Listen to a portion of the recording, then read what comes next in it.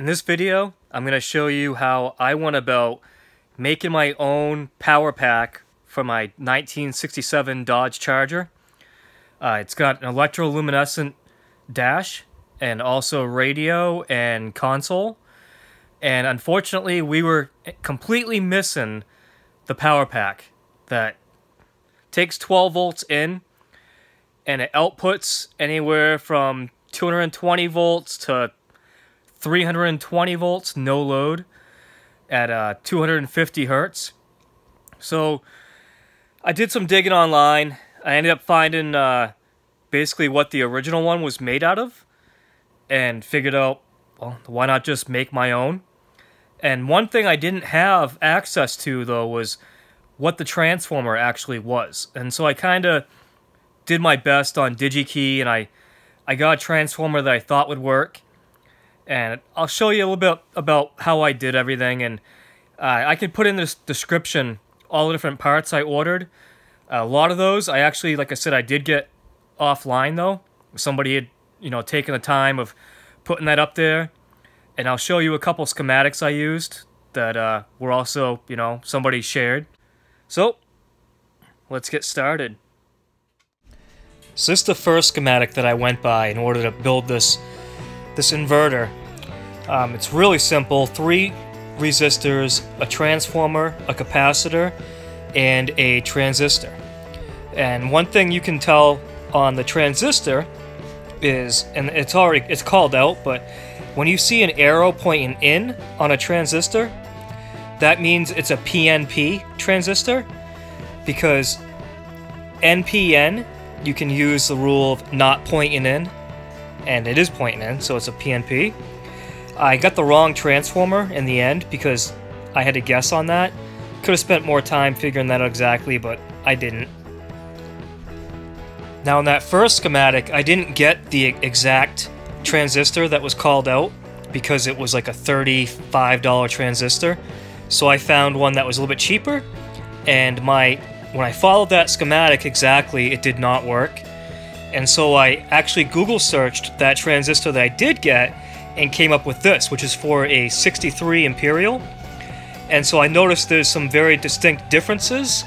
I followed this diagram and I was able to get a charge, but with the wrong transformer, I'm still not getting the voltage I should be getting, but it does work and it shows that most of the dash lights do work. So here's my cobbled up prototype. So it's all hooked up, it's in the glove box. Got power running to it. Lights are on. They're not super bright. I'm only at 137 volts, which is pretty low. You want to be about 220 volts with the load. I start the car up. They get a little brighter.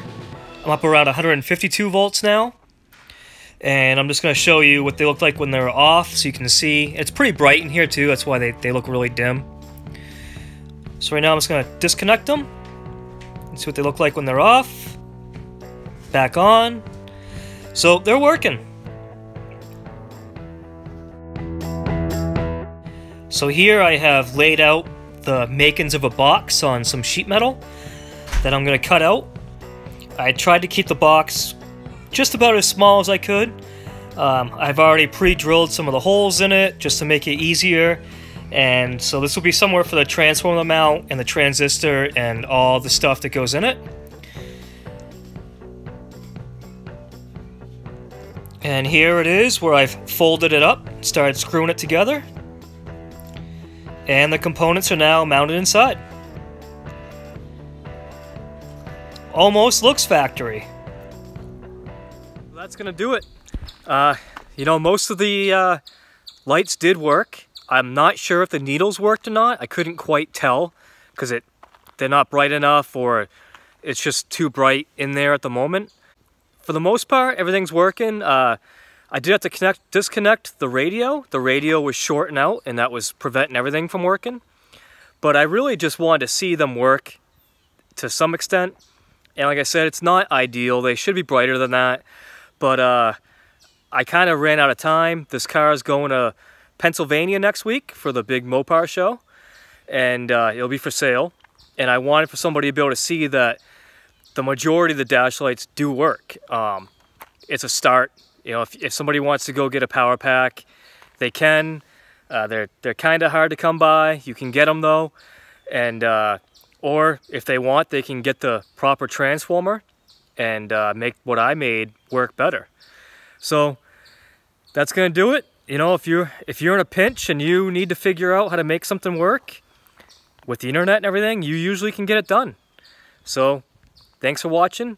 Hope you enjoyed, and uh, I'll keep the updates coming.